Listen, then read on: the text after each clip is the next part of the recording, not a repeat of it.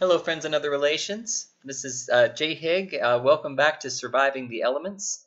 And uh, today I'm going to show you a deck I built with the, the featured card being the Vulture. The Vulture card uh, is a card that's near and dear to my heart. in, uh, in true Vulture fashion, any time that a creature dies, whether it's on your side or on your opponent's side, um, the Vulture goes up one uh, one HP and one attack power, as you can as you can see on the card. It's a it's a scavenger.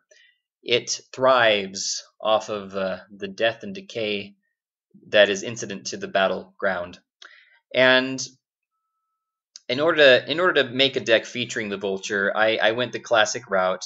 This is like if you start with a death or an entropy deck, this is one of the first sorts of decks that you'll make purely and simply because it's so simple to make and it takes advantage of what death does so well, um, which is amass corpses and feed off of them.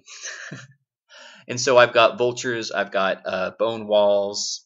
I, I, didn't I didn't have room for boneyards in here. I, I wanted to actually have some mummies, something with a big, a more attack power.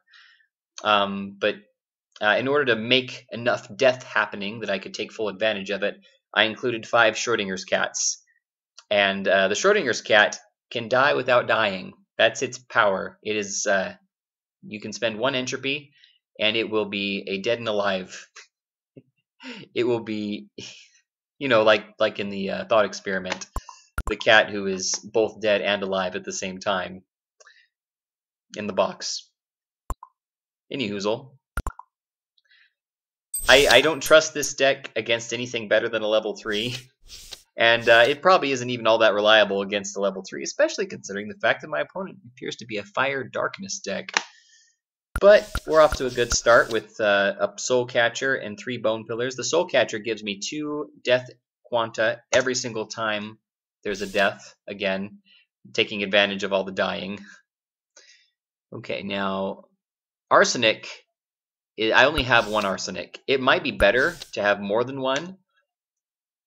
If you're building this deck yourself and you happen to have more than one arsenic, but arsenic's a great weapon. It only deals two damage, but it it also deals a poison damage at the end of every turn, every time it attacks. So that's a big plus, obviously. So I'm gonna go ahead and play the vulture, and then kill it. Now there are no amethyst pillars in this deck, so I'm relying entirely on the mark of entropy for my entropy quanta, which is fine because there's only five entropy cards in the deck.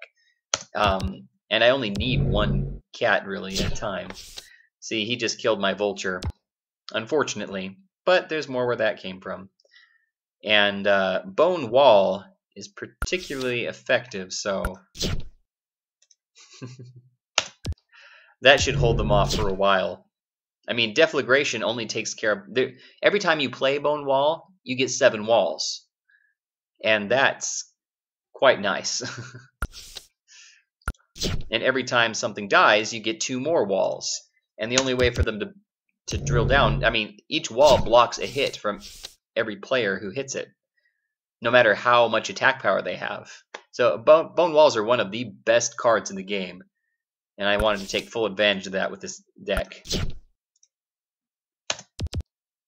Especially since he has Fahrenheit. Fahrenheit deals a lot of damage once he starts building up his Fire Quanta pool. Okay. He has destroyed every single creature I've played aside from my Schrodinger's cat, which is kind of funny since so much of my strategy relies on the Schrodinger's cat, but the AI is very bad at recognizing this fact.